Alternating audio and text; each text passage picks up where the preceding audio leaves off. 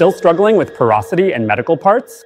You've tuned the tooling, adjusted parameters, but the parts still show porosity, dimensional issues, or sealing failures. Often, it's not your settings, it's the casting process itself. Medical components with tight tolerances and complex geometry can be tricky for traditional high-pressure die casting. The metal fills at high speed, but that also traps air, causes turbulence, and leads to defects. Semi-solid die casting offers a better solution.